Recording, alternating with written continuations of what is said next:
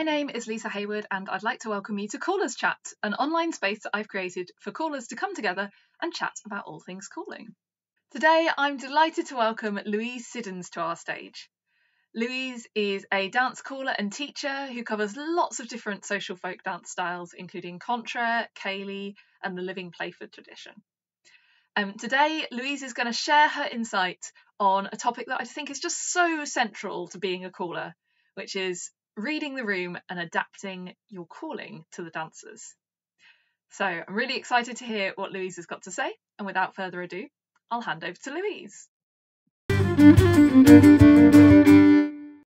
Thank you. Yes. Uh, hi, I'm Louise Siddons, and I am a caller based in Winchester.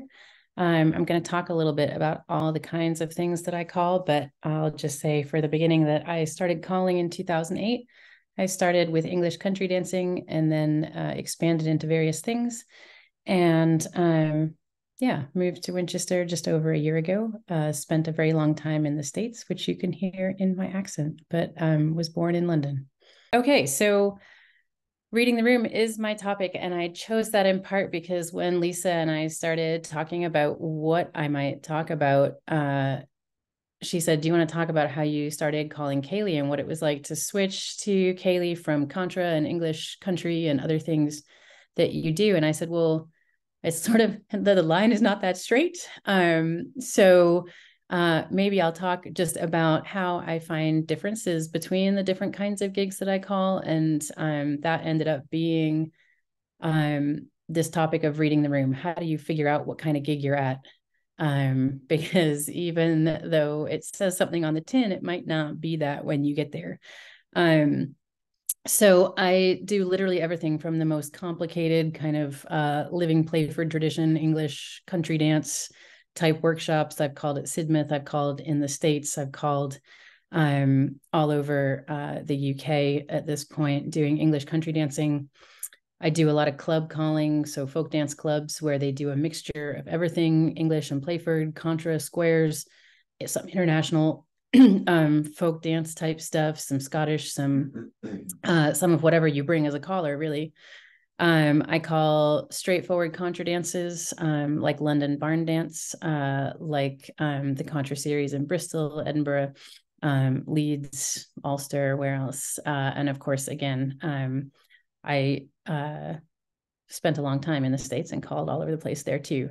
Um, and then I call barn dances and ceilidhs. So um, when I started calling, uh, these the year after I started calling, I moved across the United States from Michigan to Oklahoma. Um, that's a north south across for those of you who like geography. Um, and what happened there was that basically I went from having really kind of um, very pure contra and English country dance gigs to doing a lot of things like weddings and birthday parties and group events. And so um, I would call those barn dances. I think even in the UK, they would have been called barn dances for a very long time. But then when I moved back here in 2021, um, I have been moving back and forth, uh, but really only calling um, English and Contra. And when I moved here permanently again, um, got invited to call Ceilidhs in Brighton, where I was living. And so I started calling Ceilidh more consistently again for the first time, probably in about a decade. Um, and I will talk about why I stopped in the US um, in the course of this conversation. Um, and uh, and also why I started again once I got to Brighton. Um, spoiler alert, it's because of the gender thing, um, which will come up uh, quite a lot. So then I also teach couple dances. I teach swing, I teach waltz, um, and various things like that. Uh, and I like to think that what I'm known for as a caller uh, includes the fact that I teach very clearly, um, that I have a reasonable sense of humor. Um, but I think, to be honest, most of it beyond the things that just happened kind of organically uh, because I was local to places um, has been because of the the gender free calling that I uh, started very publicly advocating for um, in about 2017. Um, so, what are my goals as a caller? I think um, when you're thinking about what uh, what is this room full of dancers wanting from me, the first thing you have to answer is what what do you want to give them, right? What are your goals? So my fundamental goal is to meet the needs of the dancers in front of me. Um, and I think those needs vary significantly, and we're going to talk about that, or I'm going to talk at you about that, and then hopefully we'll discuss. Um, but if you meet the needs of the dancers, it means they've had fun. So really, my goal is to let people have fun, um, and according to their definition of fun, not a pre-conceived notion of fun that I'm bringing into the room. Um, also, my goal as a caller is to have fun myself. Uh, I think that often we can forget that we're allowed to have fun um, in any kind of work. And uh, to me, it's um, it's probably my top priority in every kind of work that I do is to to have fun myself as well as making sure the people around me are having fun. Um, and that can mean setting some clear goals for them as well as for myself. Um, so then, what do I mean by reading the room? Um, fundamentally, I think most straightforwardly, what I mean is that how and what we call depends on where we are and who's in front of us. And that can be super literal, right? Um, it can be what is this room? Um, how big is it? Is it going to be crowded or is it going to have a lot of space? Um, what shape is it? Can we do circle dances easily or are we really better off with long ways dances? Um, what are the acoustics like? Are there parts of the room where no one can hear a word I'm saying? Um, no matter what we do uh, as sound engineers. And is there a stage? Uh, in some situations, I can easily see the whole room of dancers, and in other situations, I can see the front row, uh, sort of thing. Um, and that matters in terms of what I choose to teach uh, or call. Um, less literally, uh, you have to read the dancers as a caller. And so the first thing that I'm asking myself is what do the dancers want? And how do I know what they want? And so part of reading the room for me is that you get some information ahead of time and then you get a lot of information in the moment. And you are, as a caller, constantly kind of balancing those two things. Um, so sometimes I know ahead uh, a little bit what to expect because I've danced in a place before. Um, I was dancing at London Barn Dance, for example, for about a decade before I ever called there, maybe longer. Um, if it's a folk dance club where I'm a dancer as well as a caller, then I know very well who's going to be there, what they're expecting, what the repertoire is. I have a lot of information. But I do a lot of gigs, uh, especially when it's Ceilidh. I should say the only um, the only regular Ceilidh series that I call are our own here in Winchester, um, which I run with my partner, and then uh, the Rant Ceilidh in Brighton, which is where I started calling Ceilidhs again here in the UK. Um, but all the other Ceilidhs that I do are one-offs. Um, and so I'm walking into a completely unfamiliar situation. And um, and then also folk dance clubs. If I travel or contra dances that are far away, I might never have danced there before. Um, and so organizers tell me things right? Or the people who hire you. Um the the wedding couple might ask for specific things. I had a couple say well we went to a Ceilidh and we did Jenny Pluck Pears and we really want to do that at our wedding. And i was like oh that's not likely. Um but what can i do that's like that? Because a i sort of knew um that they wouldn't remember um, they gave me a very long list of dances. Uh, and I thought, well, they'll remember the vague shapes and things, but they're not Ceilidh dancers. They won't, they won't know if I did a slightly different thing than the thing they asked for. Um, they just wanted to ask for that kind of style. And I can do that. Um, but also you get organizers who say, oh, you know, like we have a good group. Um, they're small but they're really um, experienced. And then you show up and either you luck out and it's the night that 10 new people showed up or um, it's they're all really experienced but only five of them came. And so you're doing things you don't necessarily expect and you have to kind of work on the fly. Um so how do you sort of uh above and beyond the information you think you've had ahead of time how do you then get to the room and think about that? Um, and so there are a lot of different things that I think about, but the first thing I do is I kind of scan the room. Um, and I would say this applies to any kind of uh, social dance that I'm calling. I just look around and I see are there obvious physical constraints that we're going to run into? Um, are there tiny children who are going to want to dance with adults? um, because maybe the arching dance is not the best choice there. Um, maybe it is, you know, read the room. um, but uh, yeah, are there um, are there people who are very elderly um, who are maybe going to move at a different speed or in a different way than people who are younger? Um, are there people who've been drinking a lot of alcohol? Um, I have definitely called the wedding, and probably some of you have too, where um, people can barely stand up, let alone dance or, or hold hands reliably. Um, and so, what do you do there to to keep people safe and to keep people having fun?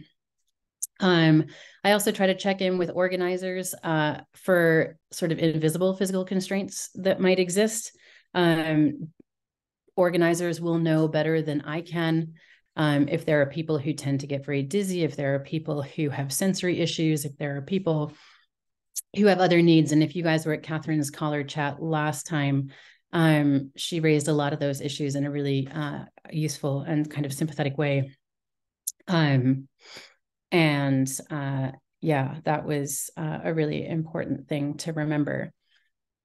Um, so as you're looking at the room and you're asking who are these dancers, I think also I try to think about why they hired me and what that says about who they think they are, uh, or maybe who they want to be. Um, because I get hired quite a lot because I bring a certain audience with me.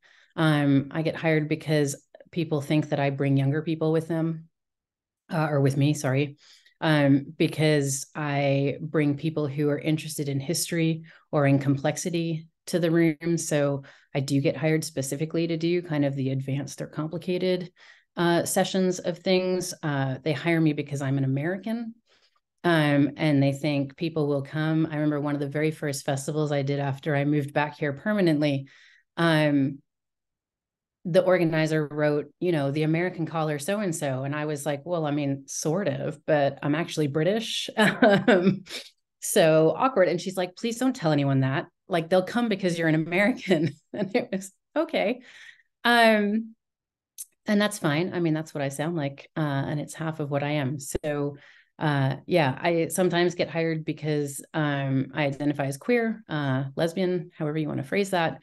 And that brings in a certain audience. Um, and so um, yeah, other times I'm just one of I mean, I think probably always I'm one of multiple callers who could do the job that needs being done. But um, sometimes I'm literally just the caller who is available. And so then um, that's also part of it, right? Is I try um, not to second guess why people have me in the room. Um, but if uh, yeah, if that matters, then it also helps me promote events for um, for organizers if I know why they hired me um, I can intentionally try to reach out to those uh, those demographics if that's what it is, or um, those people. So, um, what all of that means to me is that as a caller, when I'm in the room, I'm adjusting my persona uh, to accommodate those expectations and to think about what people want. So, if I get hired because they want someone who knows a lot about the 18th century um, then I'm like, okay, I'm here because I have a historian hat that I can put on, and I will put that on and I will tell some of that history. Um, if they're hiring me because they want someone who's going to know all of the little twiddly details of a choreography and they want someone who's going to be picky about technique, then I have to put that hat on.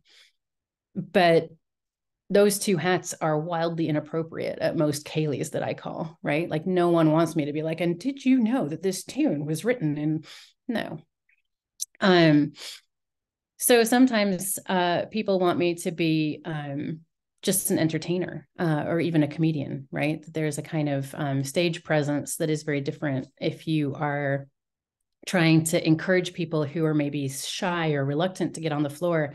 Sometimes my job as a caller is to be a social catalyst to get people dancing together who don't know each other, right? At a wedding, you can often have two awkward sides of the room um, and you have to get them in one dance space and uh, interacting.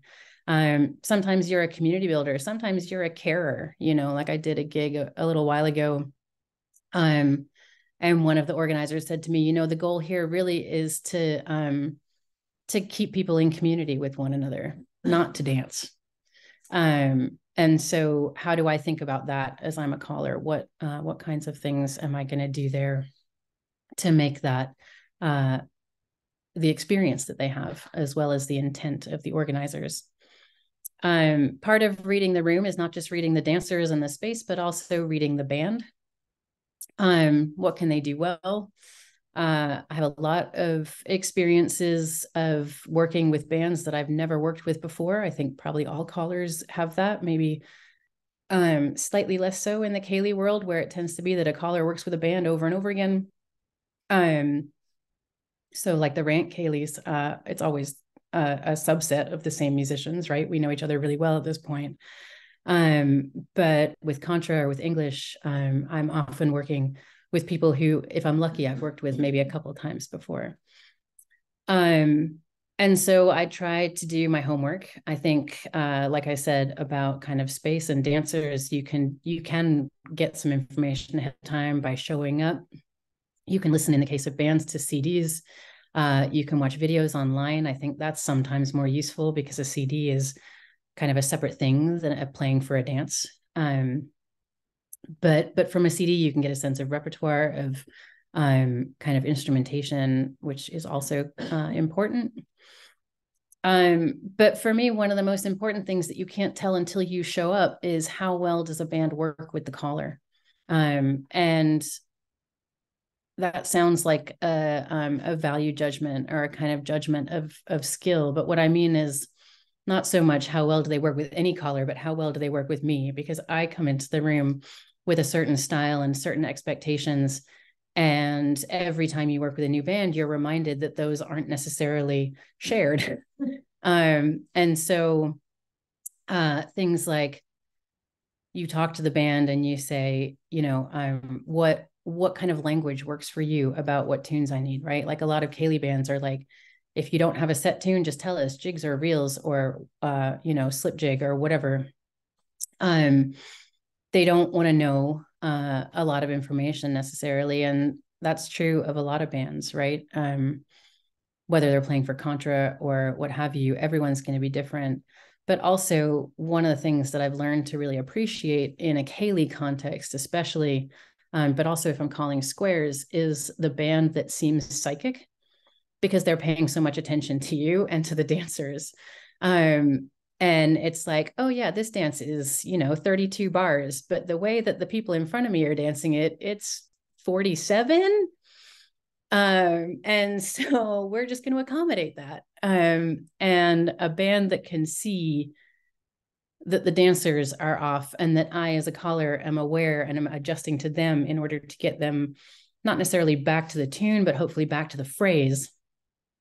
Um they can work with me to do that. That's magic. Um and so um you know sometimes you get really lucky and you have musicians who can do that but other times you have musicians who uh for whatever reason are like mm, it's your job as a caller to get people dancing correctly we can do an extra a if you want but we're not going to kind of fill in seven bars or 13 or some strange number um like that's just beyond uh, I think a reasonable expectation, to be honest, for any band. And so it is just luck if you get someone who's willing to do it. Um, but then, uh, yeah, you just you sort of learn um, you learn how to work together, and you have other strategies like, okay, well, how do I communicate to you that we're going to go out now, kind of regardless of where we are. What's your best uh, kind of what's your uh, most effective way of doing that? Um, all of that communication stuff. Some of it you can do ahead, and some of it you're learning as you go. Um, and uh, yeah, I think if you as a caller can work with the band to get the best out of them, then everyone has a better time. Um, and that's really important.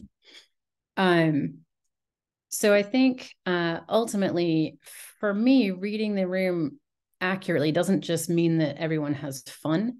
Um, it means that you're making a safe space uh, I think safety is a prerequisite for fun. If people aren't feeling safe in a space, they're not actually having fun um, in the way that you want them to as a caller. But I also feel quite strongly that that safety should be I used the word invisible in my notes, and I don't mean invisible, I mean incorporated in and consistently part of the message, right? Like that everything you do is talking about safety because safety is fun.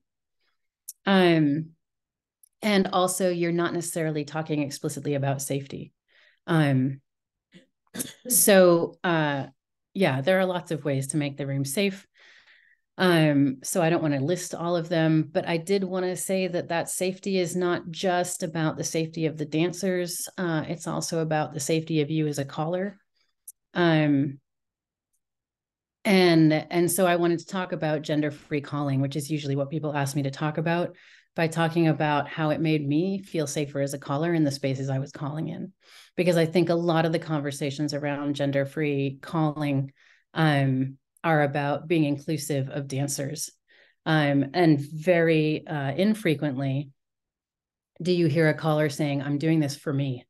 And I think that's because it sort of uh, goes against our sort of unstated values of community and prioritizing the dancers and blah, blah, blah. Like we're not supposed to be like calling is about me.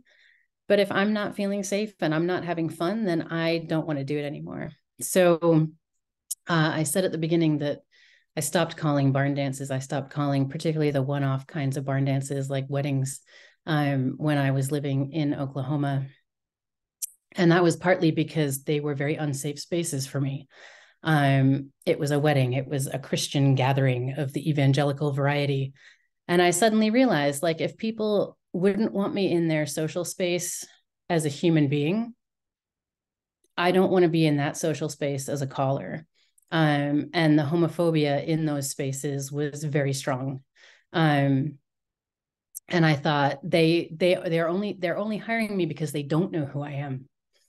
Um, and also because it's rural America, I was driving a long way to a lot of these gigs.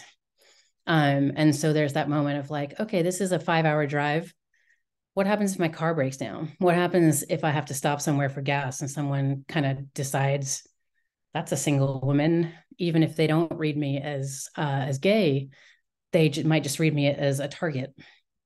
And I thought there's so little safety in these situations, and, and then I have to show up and I have to pretend, you know, because as a caller, as particularly at events like that, you get asked to kind of advocate for the event that's happening and I thought, I just, I can't do it. So I stopped. I just completely stopped calling any kind of gig like that.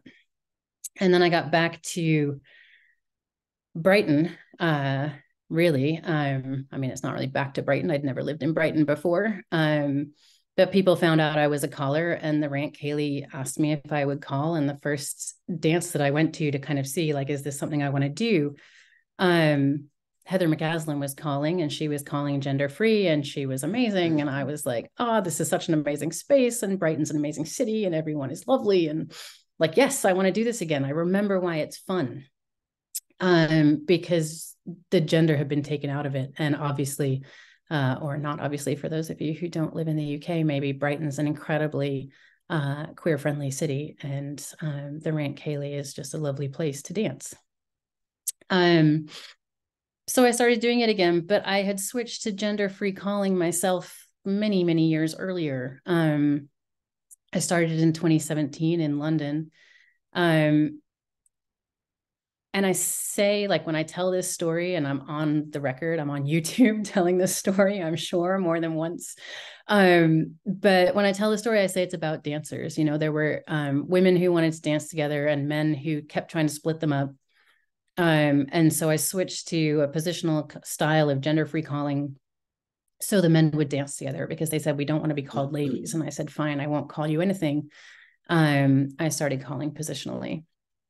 And um, that made a big difference for me. Um, and then as I did more and more positional calling, I realized that it was making a difference for other people. It was allowing uh, for intergenerationality, people who wanted gender free calling could go to a dance and the people who didn't really i'm not going to say they didn't want it who didn't care um, but who were aggressively anti alternative role terms could still dance and enjoy it. And i do think for me one of the most important things about social folk dancing is the intergenerationality of it. I don't like that that conversation has created a rift that people shorthand as an age based rift. Um, there are people who are advocates on every side of this uh, conversation of every age. Um, but but like I said, I don't really want to talk about them because for me it really was about me, and I realized that the first time I danced to gender free calling, um, how radically it changed the way that I perceived my place in the community. Um, and then as a caller, I realized how much power I had, right? Because um, it wasn't my choice. I ran a contra dance with students when I was at uh, Oklahoma State University. And the students came to me and said, We want to be gender free. Um, how should we do it? Because there weren't, you know, today the terms Larks and Robins are the alternative role terms of choice across the United States. Um, but that hadn't happened yet. It was earlier than that. Um, and so I said, well, we'll have to pick new terms. Um, so we did a dance where the first half I called ladies and gents, and the second half uh, they chose chutes and ladders, which is the American version of snakes and ladders. Um, and so the second half I called chutes and ladders. And the same exact people, the same students were in the room for the first half and the second half. And in the first half, they were entirely hetero paired up. And in the second half, they all turned to each other. And regardless of gender, we're like, do you want to be a chute or a ladder? And I'm like, nothing, happened. you guys, nothing has changed. Um, but for them, something had radically changed. Um, and I don't think it was that different from the 70 year old men in London who didn't want to be called ladies. Uh, I think it was that the language was telling them something about who they were supposed to feel like they were. And when the language changed, they had permission to be someone different. Um, or they had permission to not tie the dance to who they thought they were. Whatever it was, it was um, it really drove home to me how my language as a caller directly impacts how people uh, feel that they have permission to behave. And although we shouldn't need permission to be any kind of way, we all want permission um, to be who we are. I think that's a fundamental part of being part of a community and a culture. Um, so yeah, I I did it for me. Um, I still do it for me. I don't take gigs where they won't let me call the way I want to. Um, and uh, Lisa said, Can you please have a clear end to your talk? and I did. I did, Lisa. But I have messed it up by starting to ramble. So um, I'm just going to end that uh, by saying the ge- the gender inclusivity. It was my priority because in a lot of other ways, I felt like when I found social folk dancing, I had found the most inclusive space I had ever encountered. Um, I'm an introvert. I'm on the spectrum uh, I was a really bad, like going out to the club dancer. And then I started folk dancing, and it was like no one cared that I read a book at the interval. No one cared that I didn't make eye contact, except if it was, you know, a shoulder round where you're supposed to. I'm like, I can do rules. I can't, I can't do um, sort of extroverted social behavior in a way that a lot of spaces when I was especially a teen and in my 20s expected me to so so in a lot of ways um, it was interesting to me to discover this space that i had really idealized as inclusive was alienating me on a fundamental level and that as a caller i had the power to change that. Um, so i'll end there